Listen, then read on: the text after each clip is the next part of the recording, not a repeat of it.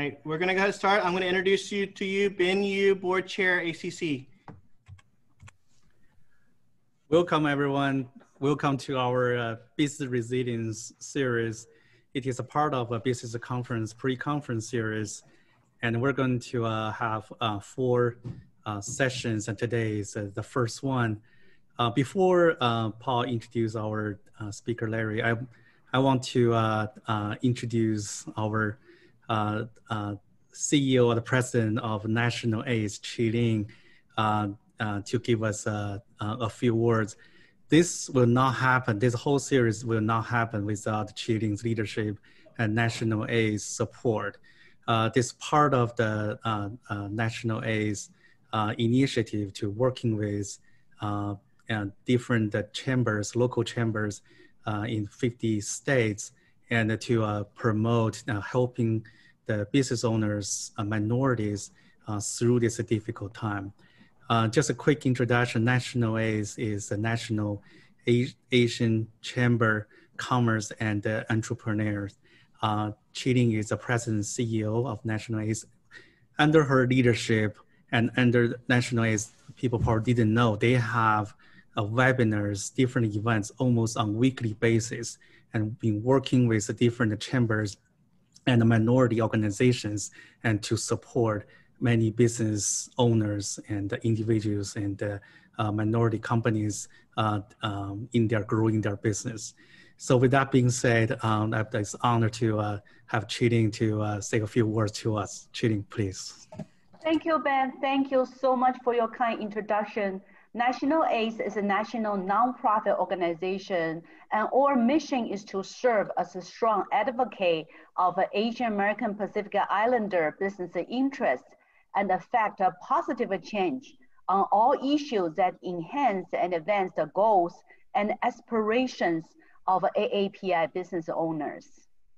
For the past six months, we have worked closely than ever with our national network of more than 60 affiliate chambers and partners around the country to ensure that AAPI business community has, has the most accurate and up-to-date information about the important resources that are available to our community during this global pandemic.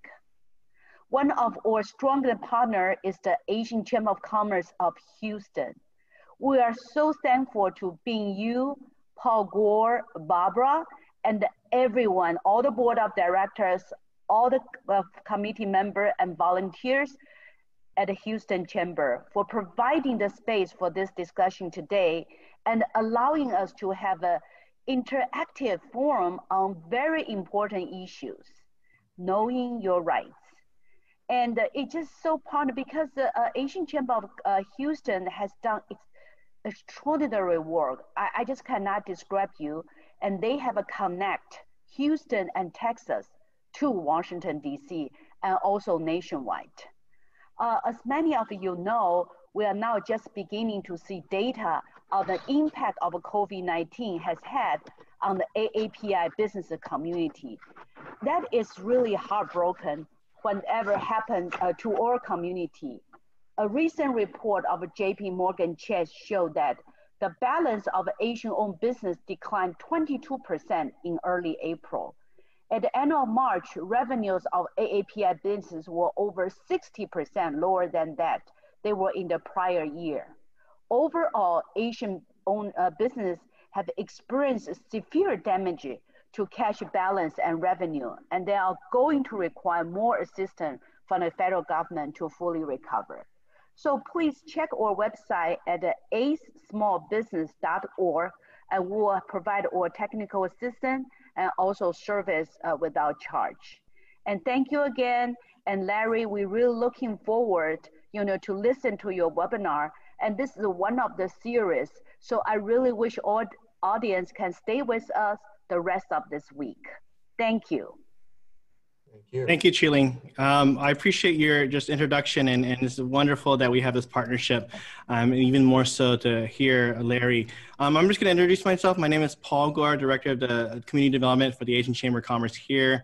Um, we welcome you for our pre-conference, our billion, uh, Business Resilience Series of September 23rd, 2020.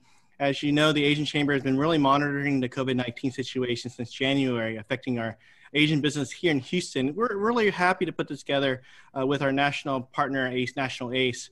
And this is webinar is the first of four series focused on legal, communication, cybersecurity, and human resource, which is basically human resource law.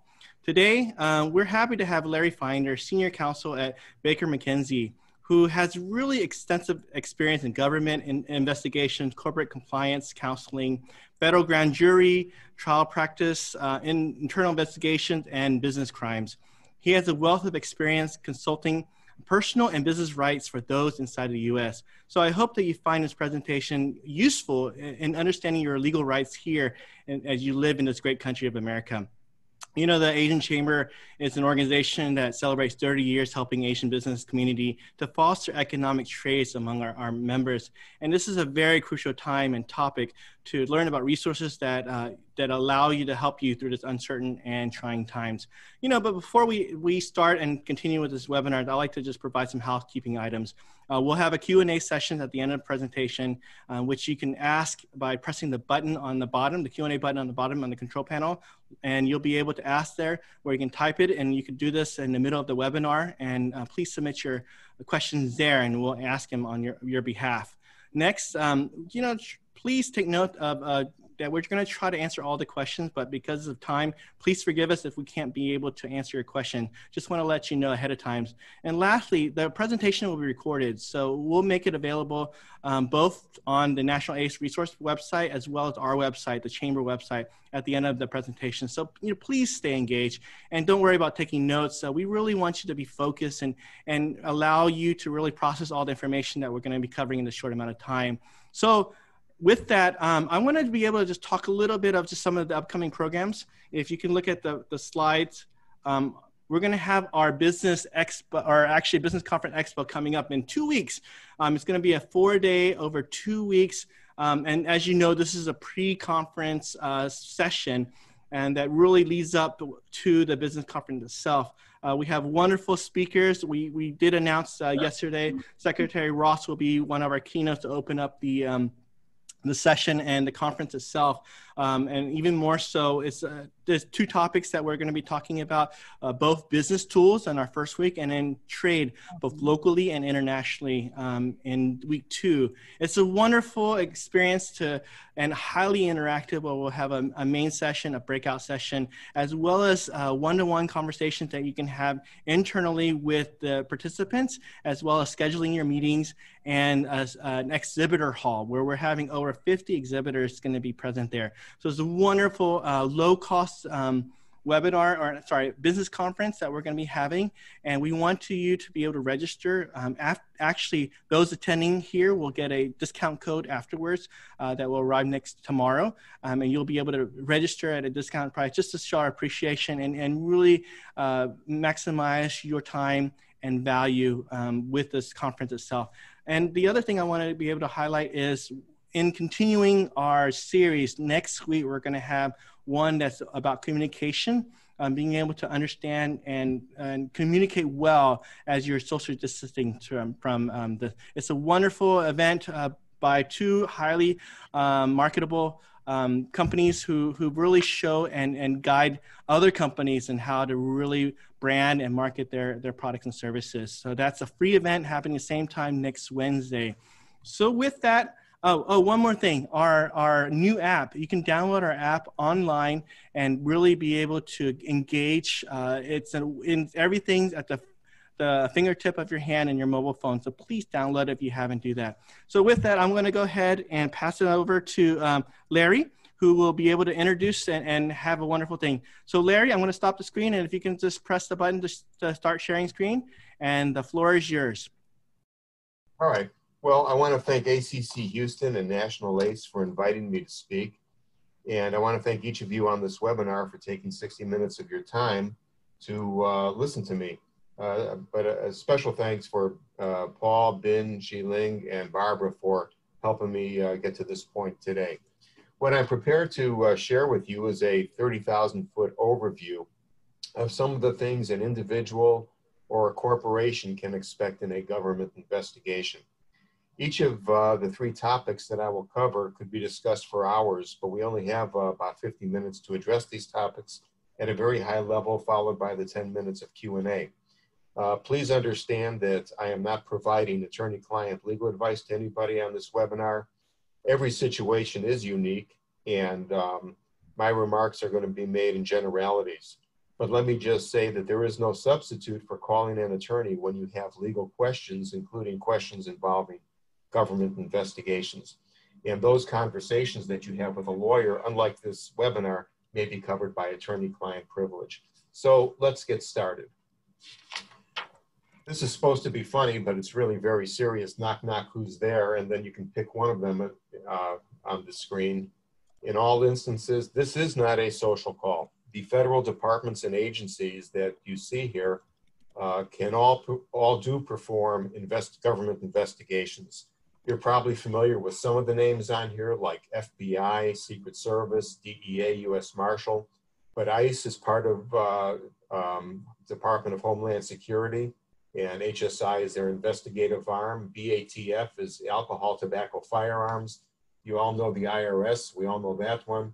Uh, postal inspectors uh, are a very active agency, as well as the Department of State, which does a lot of immigration and passport fraud. In addition to all these federal agencies, state, county, and local law enforcement also uh, do, do investigations and have uh, tools available to them. But basically, the, uh, this PowerPoint presentation will uh, involve agencies from the Department of Justice, Department of Homeland Security, and, um, and probably uh, postal inspectors. So what are the common types of uh, government investigations, investigative techniques? And I like to think of this as a toolbox that is used by prosecutors. And the three major tools in this toolbox are agent interviews, that's federal agent interviews, but it could be on a state and local level police interviews, grand jury subpoenas as opposed to civil subpoenas, and search warrants, which in the rest of the world are often called dawn raids. There is another tool in this toolkit, but it's not generally used. Um, it's not as common as the three you see, and those are wiretaps or electronic surveillance. There's two types. There are criminal wiretaps, which um, the FBI and most of the other agencies that I showed you on the prior slide are able to do. And there's the FISA court wiretaps, which we've heard about in the news uh, when we're listening to some political reporting. We're not going to talk about either type of wiretaps in this presentation as a matter of time. But each one of these three tools in the toolkit could be uh, discussed for an hour or more. So um, let's talk about agent interviews versus grand jury subpoenas versus search warrants. We'll go into each one of them in, uh, in some length. The agent interview is normally first, and if, if I had to talk about a danger meter, I would say the agent interviews are kind of like getting a cut on your little finger. Um, but it will determine if there's going to be a federal investigation and whether you as a interviewee could become a person of interest. A grand jury subpoena is more serious in most cases. That's uh, instead of a cut on your little finger, that's more like getting your hand burned by some spattering boiling water. But that means there is a criminal investigation. A grand jury subpoena means there is a criminal investigation. An agent interview may or may not result in a criminal investigation. The most serious tool in this toolkit are search and seizure warrants, or again, what are called dawn raids. And that's like dipping your arm into a vat of boiling oil. That is really serious, very, very painful. But you always remember an agent interview can lead to a grand jury subpoena, which can lead to a search warrant. So let's talk about the common types of uh, investigative techniques in the order which I presented it. That is starting with the agent interviews. Agent interviews can occur anywhere. And when I say agent, I'm talking about a federal agent, an FBI agent, a DEA agent, a State Department agent. They are all um, uh, law enforcement officers. And these agent interviews can occur anywhere. They can occur in your home, your office, when you're on vacation out of town, if that is, if the government knows where you are. And uh, oftentimes, in my experience, at the airport when you're uh, coming back from wherever it was you visited, especially if it's out of the country. very, uh, uh, if an agent calls you up and requests a meeting for an interview, that's probably the best case scenario because there is a decent chance you may not be a person of interest in any uh, ongoing investigation. Yet, when you hear from a federal agent, it's still a good idea uh, and a good practice to call a lawyer before you sit down and uh, consent to an interview. When interviews occur, there are usually two agents, one who takes notes and one who asks questions.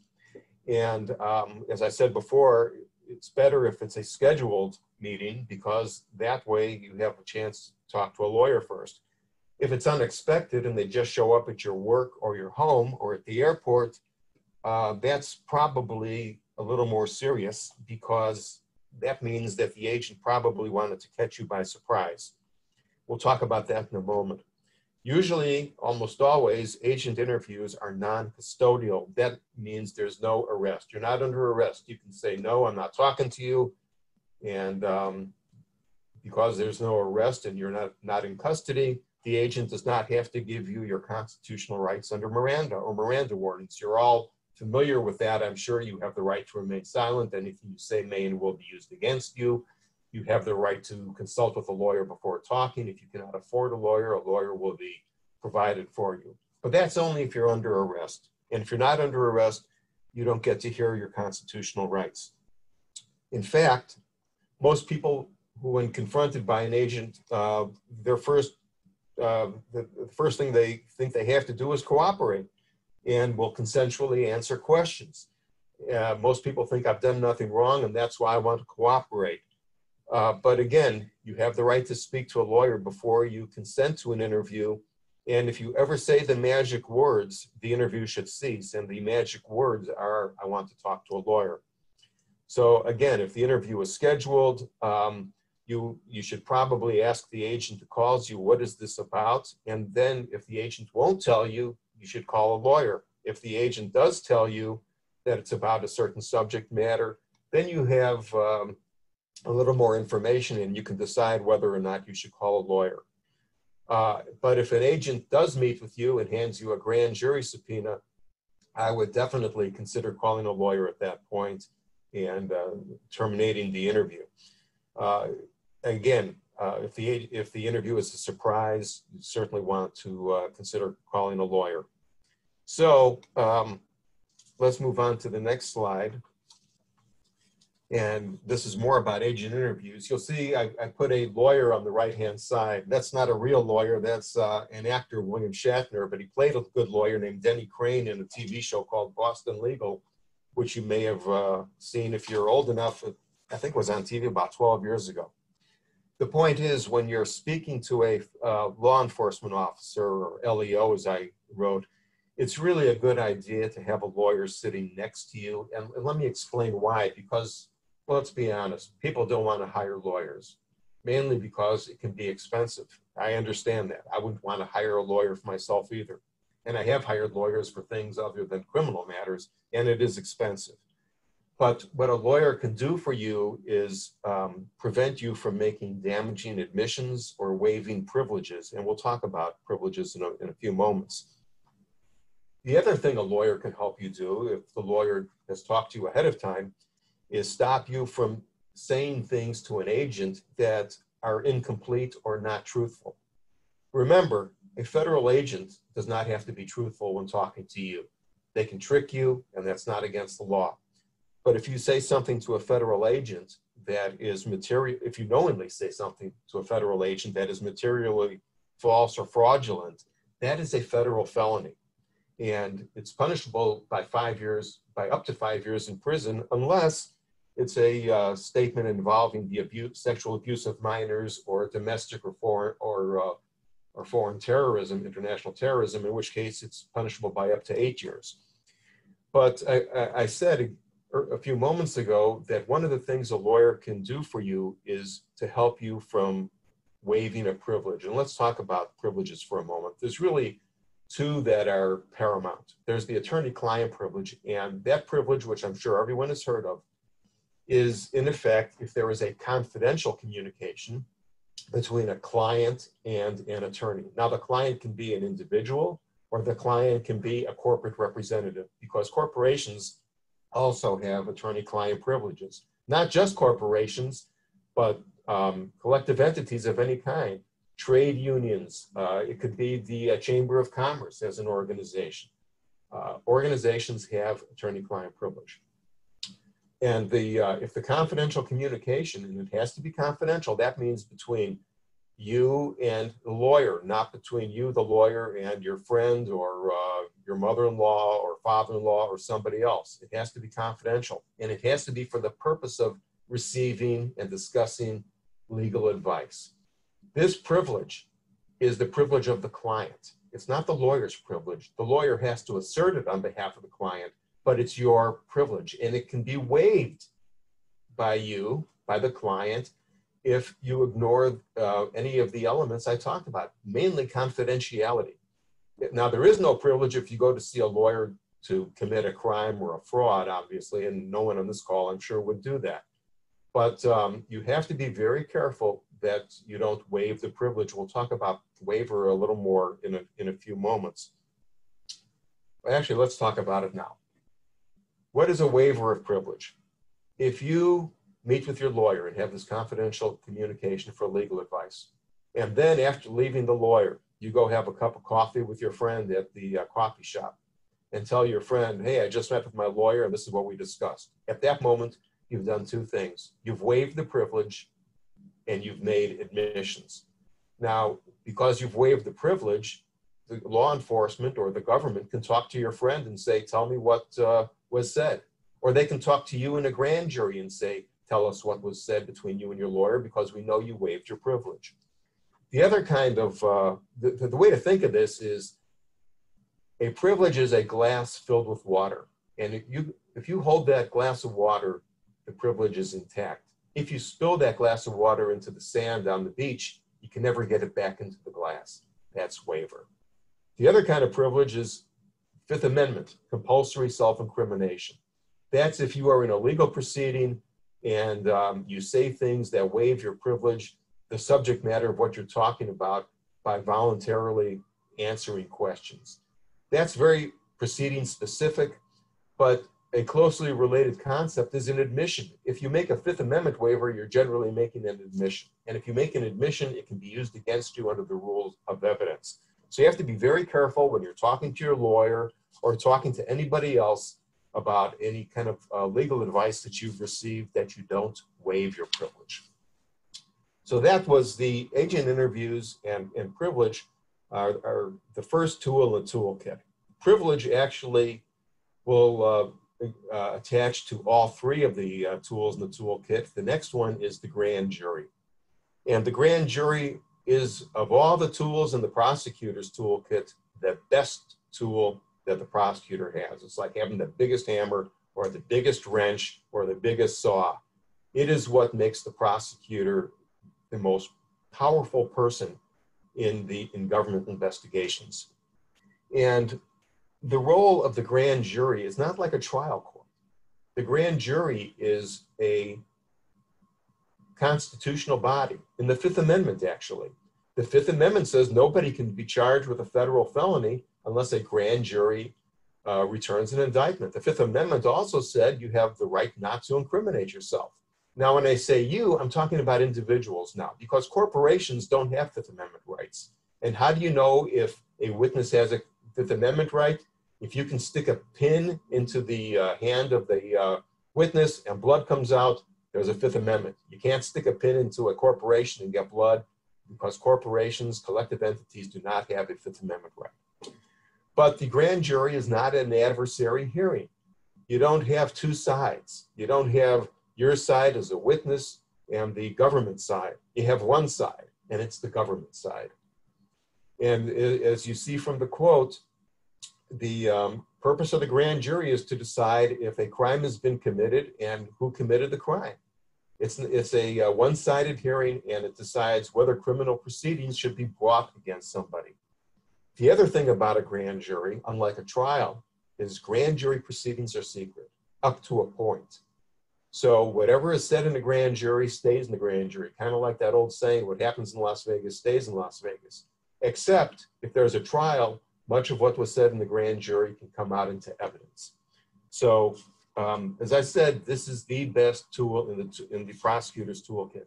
A grand jury room, and this is just to give you an idea of what it looks like, there's a stenographer, there's the witness, there is a table where the, where the prosecutor sits, and there's nowadays a monitor or a whiteboard to show the grand juror's evidence. Before the prosecutor sits down, there's often a magazine rack with newspapers and magazines. The grand jury consists of 21 people, unlike a 12 person trial. And those people decide whether or not to bring an indictment. And an indictment is a formal criminal charge. Grand juries charge felonies. A felony is a type of crime that's punishable normally by more than a year in prison or up to more than a year in prison, as opposed to a misdemeanor, which is normally less than a year in prison. Grand juries don't bother with misdemeanors for the most part. They consider felony presentations. So how does the grand jury process get started? The, the simple answer is by subpoena. And what you're looking at are three types of subpoenas. I don't know if you can see my cursor on this, but the first one is a civil deposition subpoena. Second is a civil document production subpoena. The third is the grand jury subpoena. A grand jury subpoena may look like the other two. They all kind of look alike when you look at them quickly. And a grand jury subpoena can um, uh, compel production of a person to the grand jury, an individual that is, as well as documents. But at this point, I have to tell you, the grand jury subpoena may look like the other two, but that's where the similarity ends. I like to say a grand jury subpoena, or the other two subpoenas, the civil subpoenas, may look like non venomous king snakes it, with a certain uh, color patterns on the body. It looks a lot like a, the venomous coral snake pattern. The grand jury subpoena is the coral snake, not the king snake. So, what happens if you get the grand jury subpoena? You as an individual or you on behalf of your company or the company you work for. While I can't give you legal advice, I can tell you what good judgment is. And good judgment is when receiving a grand jury subpoena, you get a criminal law attorney, someone who's uh, who understands what a grand jury subpoena is and how it differs from the first one or the second one. Remember, they're all subpoenas, just like, um, let me put it this way surgeons and internists are both physicians, right? But you don't want an internist operating on your appendix. You want a surgeon. For the same reason, you don't want you don't necessarily want your civil lawyer uh, to handle a grand jury subpoena and, and document production. The reason being the penalties are far different. Why? Because a grand jury subpoena means, by definition, this is a criminal investigation. The other two are civil. Nobody goes to jail to the penitentiary in a civil case, unless there's contempt of court, of course, but that's an exception. There can be contempt of court for a grand jury subpoena as well for noncompliance. But this is the grand jury subpoena is much more serious because noncompliance can lead to other other things. And we'll talk about some of those things. Um, for example, if a civil subpoena is, is not complied with, you blow it off. There might be a contempt of court, there might be a fine. Blow off a grand jury subpoena, the judge is probably going to sign an order getting whoever the witness into uh, court, possibly fining the witness, uh, unless it's a criminal uh, uh contempt, in which case the witness can be jailed for noncompliance. But that's the least of it blowing off a grand jury subpoena or complying with it in part. In other words, not producing all the non privileged information which is required to be produced can lead to other things. It can lead to more agent interviews. It can lead to a search warrant, which we'll talk about at great length in a little bit. That's very, very serious because someone who doesn't comply with a grand jury subpoena to the prosecutor is someone who's more than a person of interest it's a person or a witness who has something to hide. So that's why I strongly recommend if a grand jury subpoena is ever received by a company or by an individual, by an employee of the company, which does happen, and we'll talk about it in a little bit, that a criminal uh, law attorney be engaged to help you or your company on how to proceed, how to respond. Remember also, the grand jury subpoena could call for things that are privileged. You may not be in the best position, or your company may not be in the best position to know what is privileged. There's a difference, for example, between attorney client privilege documents and documents that are trade secret documents. You don't want either one of them being disclosed, especially uh, your trade secret documents, because that may be the secret sauce to your company. You don't want it, you don't want it getting out, out there. But trade secret's not privileged. Attorney client is privileged. And that's why a lawyer can help negotiate uh, for you, for your company, what the grand jury can look at and what the grand jury cannot look at. And that is something that's usually done lawyer to lawyer between your or your company's attorney and the prosecutor. You don't deal with the um, agents who are serving these things, these processes, because the agents aren't the lawyers who are prosecuting the case. So, as I said before, if a grand jury subpoena, or if any subpoena is, is received by you or your company, uh, the company should talk to its in-house lawyers or hire outside counsel, uh, and you would do the same. But a grand jury subpoena really requires that you jump on it right away because there may not be that much time in the grand jury subpoena for compliance. You will ordinarily have sufficient time for you to uh, obtain the documents or the other evidence that's requested and get it to the grand jury. Um, many, many times, the grand jury subpoena calls for many hundreds, thousands, tens of thousands of documents. Clearly, that's not going to be possible to produce in a couple weeks. You have to look at it to see if there's privileged documents like attorney-client privilege, um, uh, and, and then through your attorney, hopefully, or the company's attorney, you make a production and what's called a privilege log of documents that you're not producing, but you acknowledge exist, but subject to privilege. So that's what the lawyer can do. The lawyer uh, will uh, uh, help you if you get a grand jury subpoena and you have to go to a grand jury to make sure you don't make admissions in the grand jury, you don't waive attorney-client privilege in the grand jury, and how to ensure compliance with producing documents that are subject to the subpoena. What your lawyer can't do, though, or the company's lawyer, is go into the grand jury with you. You're on your own. The lawyer can sit in a little ante room outside the grand jury, and you, the witness, has the opportunity uh, upon request to go out and, and talk to the lawyer to see if uh, the, uh, a privilege should be asserted, whether attorney-client or Fifth Amendment, as long as you haven't waived privilege before that. Because if you waive the privilege, you've probably waived the subject matter, and then the government can pretty much go into whatever it wants. The other thing, and perhaps one of the most important things a lawyer can do for you if you get a grand jury subpoena as opposed to a civil subpoena, is talk to the prosecutor and find out whether the witness, whether an individual or a collective entity, such as a corporation or a uh, trade union or any kind of association, is uh, in the mind of the prosecutor a target subject or other witness. A target is a witness who the prosecutor or the grand jury calls a putative defendant. Without being too legalistic, that means someone or something that's probably going to be charged by indictment. That's very, very serious. A subject, on the other hand, is almost every other kind of witness, someone who knows something or who has done something that is within the scope of the grand jury's investigation, and the grand jury wants to know more about that witness's conduct. The third kind of witness is just like a, it's called other witness. Usually the record custodian from the light company, the phone company, things like that that have to produce records that know nothing about what the grand jury is looking at is just bringing in records. And nowadays, a lot of that can be done through uh, declaration and witness affidavit and records affidavit. Um, so let's move on. The third tool, and this one is called the search and seizure warrant, or in other countries, um, a dawn raid warrant. And let me stop right here for a moment. A dawn raid in other countries is handled much more um, cooperatively or civilly than a search warrant. The search warrant may have, have looked like the grand jury subpoena or the civil subpoena, but again, it's the poisonous snake.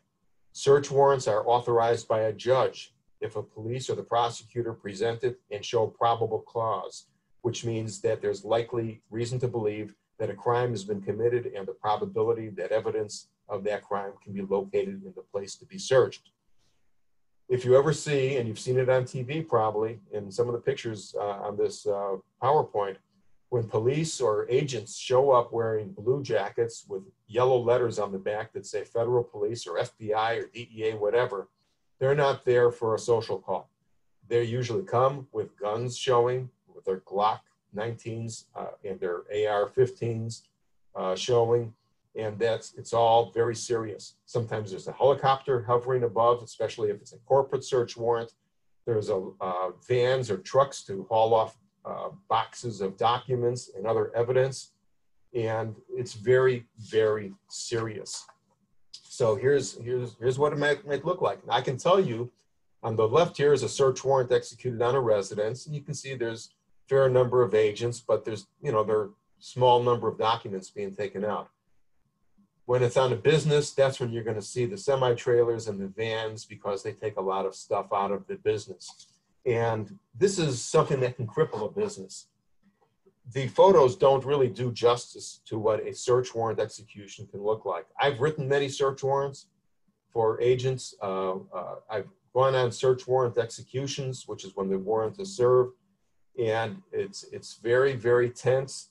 And um, guns are being shown, and you really, when the agents come in with a search warrant, whether it's to a home or a business, they take control of the premises.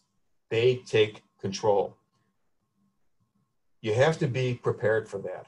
Now, if your business is already prepared for a disaster, let's say it's hurricane disaster, flood disaster, tornado disaster, chances are you have a second, you, you have a server that's off site um, because if your business gets destroyed, the building it's in gets destroyed, you still want to stay in business.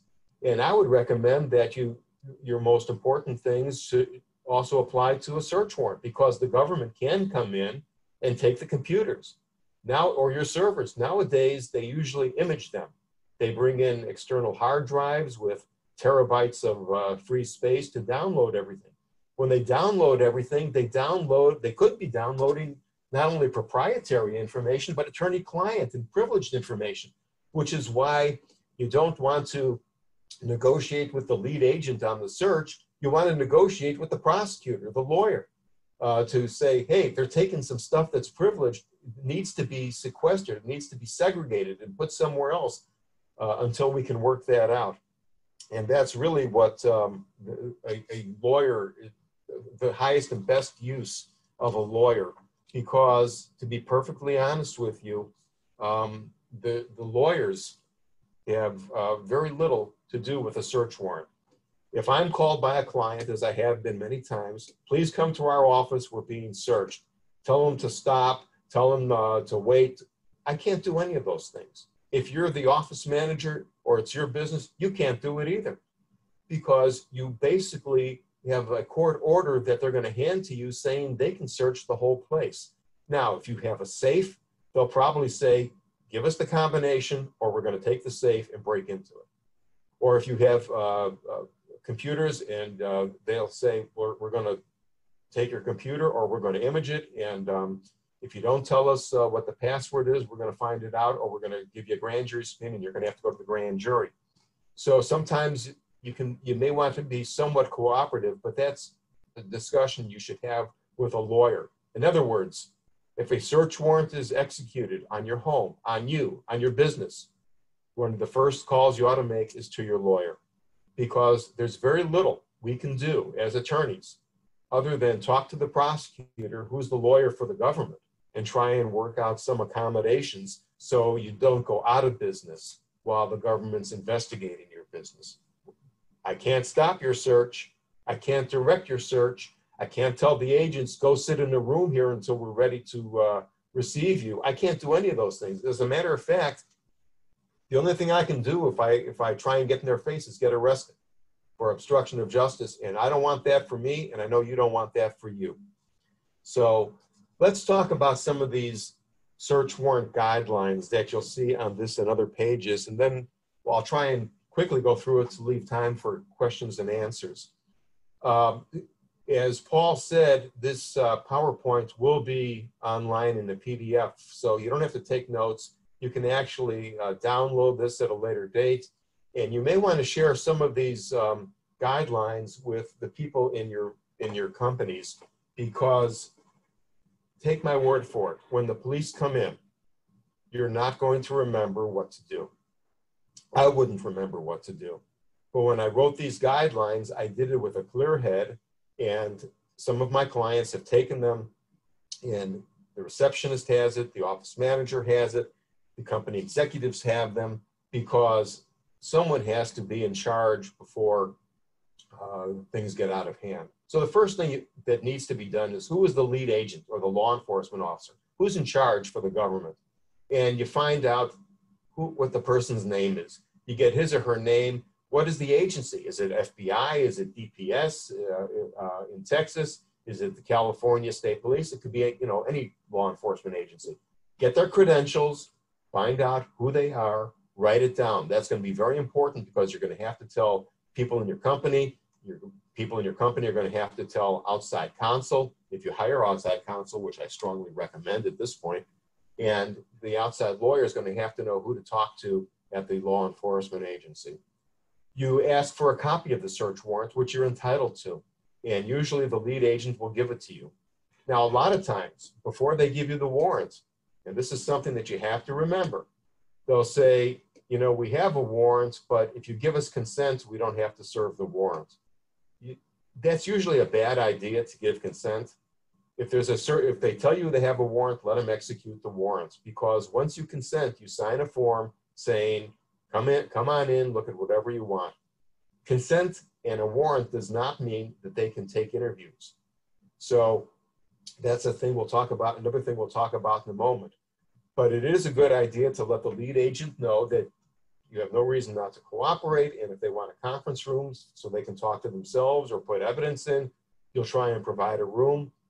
Uh, in the meantime, you call your lawyer or the company's lawyer, right, who will hopefully call outside counsel who knows about, a little more about these things and start a conversation with the prosecutor, even as the search warrant is going on.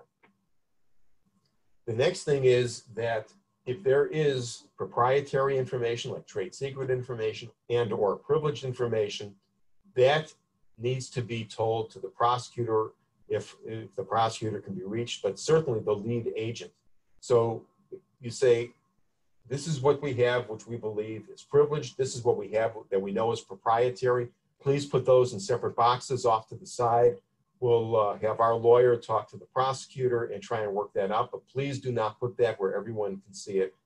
We're out of business if it gets out, if it's proprietary or trade secret, and if it's attorney-client, no one's allowed to look at it anyway. And normally the agents will uh, agree to that, and almost always, certainly, the prosecutor will. Um, another thing is there's going to be non-essential uh, personnel. Ask the government, can they go home? And if they can, you let them go home, but you tell them, do not start emailing about this, don't talk about this. Basically, keep your mouths closed until we've talked to our lawyer, until we can find out what's going on and then we'll have a meeting at the office. But in the meantime, please don't say anything. Most important, do not, you tell your people, do not throw away or delete anything while the agents are there. And even after the agents leave, that could be obstruction of justice. Even in a civil case, once a lawsuit's filed, you don't delete or throw away what could be important evidence like emails because that's called spoliation of evidence and that can be used against you in a civil case as well.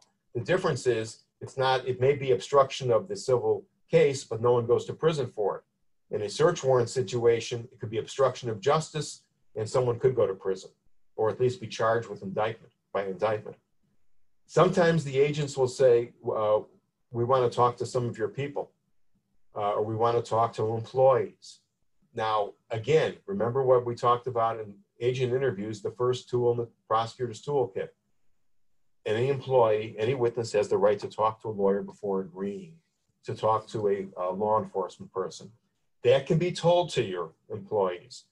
But you cannot say, under no circumstances, talk to the uh, feds, under no circumstances, talk to the police. You do that, then that could be obstruction of justice. You say, something along the lines anyone who wants to consult with a lawyer before agreeing to talk to the law enforcement has the right to do so. You can call your own lawyer, and the company, if, if you don't have a lawyer, the company will make arrangements for you to have a lawyer. Normally, the company will pay for one or two lawyers to talk to employees to give them their legal rights. That's a really good idea for you to do, unlike just uh, telling the employees don't talk. Don't talk can get you in big trouble.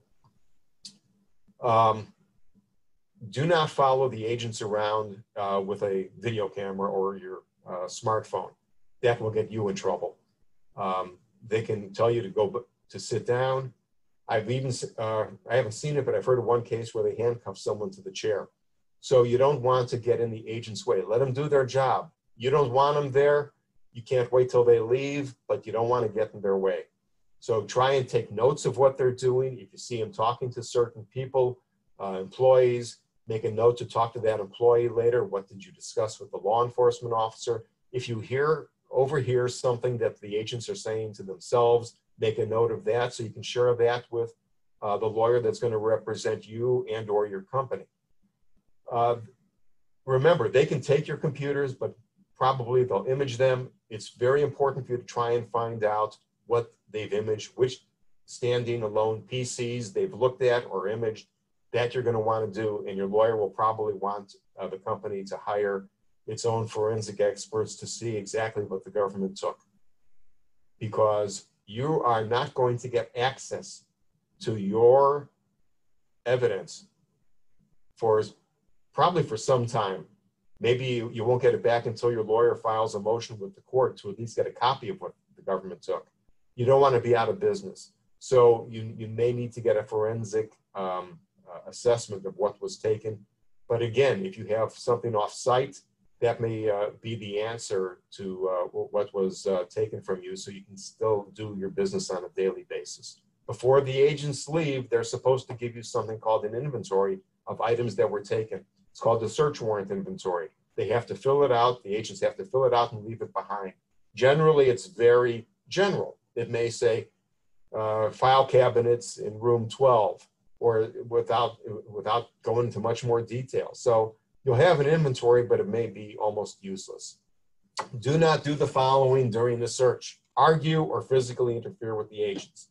That will likely get you in a lot of trouble, you or uh, others at your company. Uh, we already talked about don't use a video device to record don't challenge the police or the agents about their scope of authority or uh, because if they're there with a warrant they have authority. If for you to say i've read the warrant you don't have the right to go into the uh, uh, building behind that's probably not going to work either. So remember the police control the premises while they're executing the warrant not you. Your lawyer can't stop it at that point. Make sure that your um, employees who are still there are not making unnecessary phone calls, or the employees who went home are not making un- unnecessary phone calls or discussing this, what just happened with uh, anyone else, uh, because rumors will get around and, and, and that's not good. The other thing to be aware of is that after there's a search warrant, it is highly likely that a grand jury subpoena will issue to the company and to certain people at the company, probably officers or managers, because what the government doesn't get or what they miss during a search warrant, they're going to hope to get via a grand jury subpoena.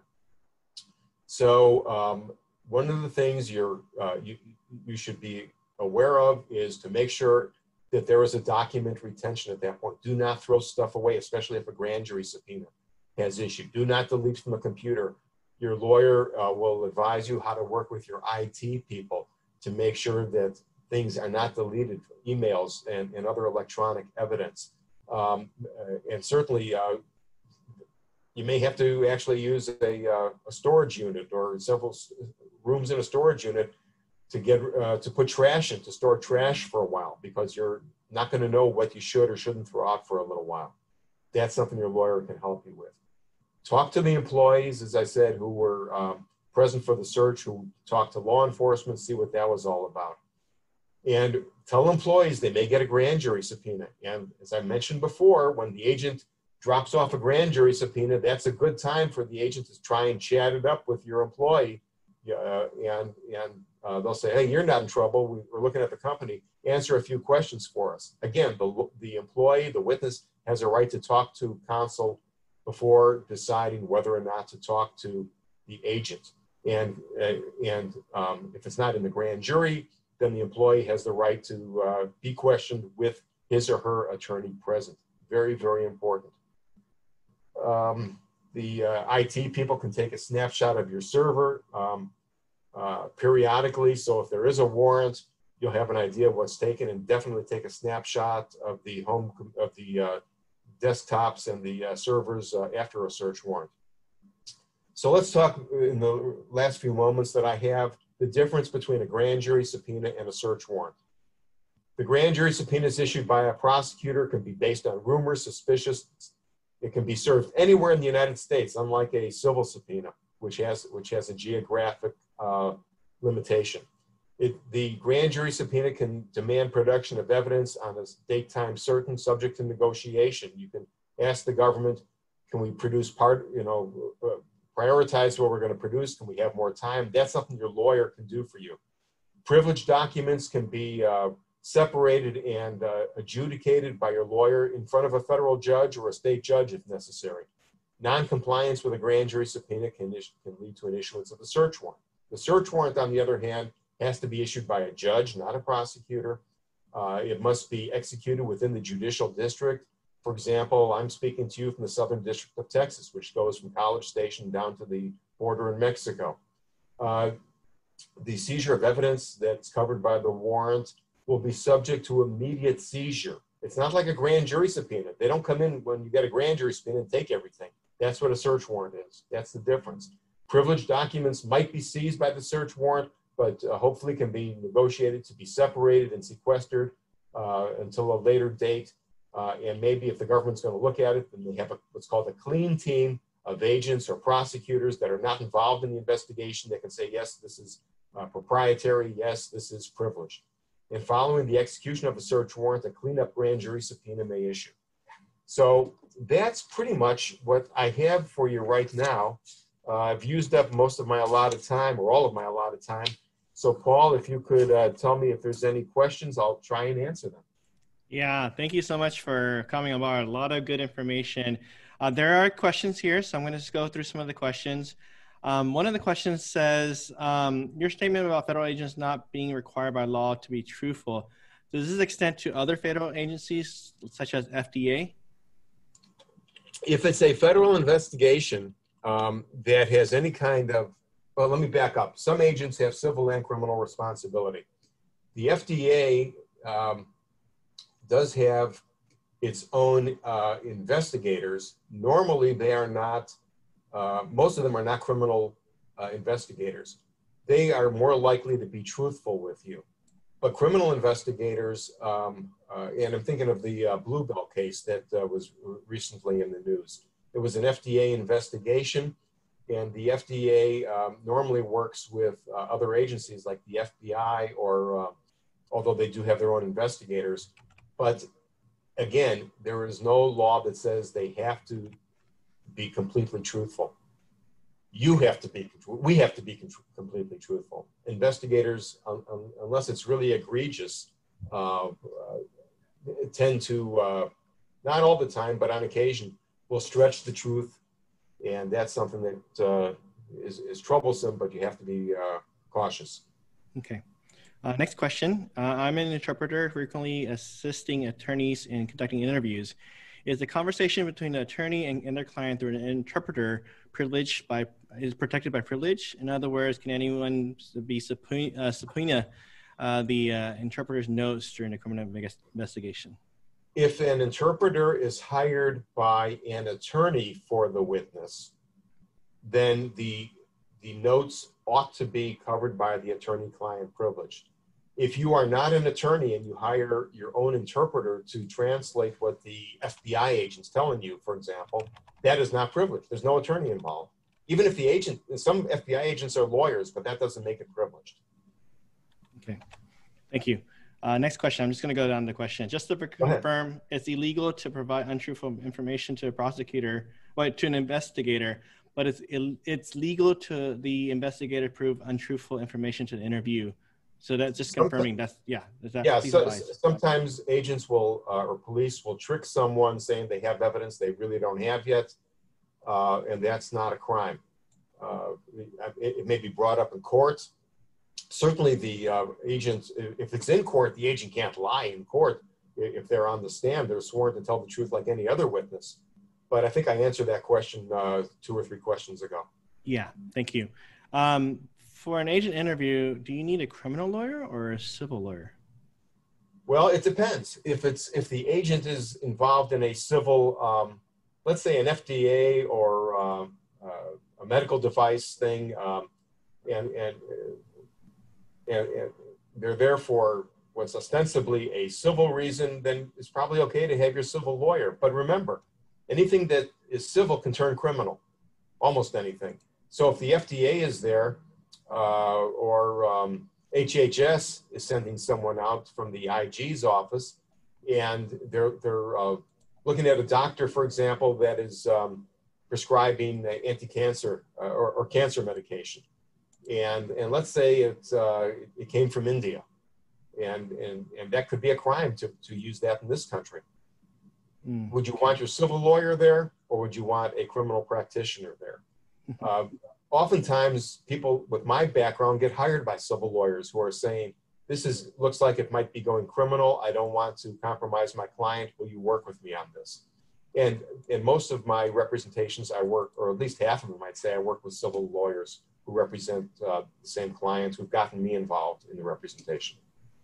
Okay. No, thank you. Um, I'm just gonna just a couple more questions, and I know we're almost close to time, but I do want to answer these questions. Am I obligated to surrender my cell phone, personal and business, during the search warrant? And yet the second following that, am I obligated to give, you know, my passwords to the search officer or emails for my emails and cell phone?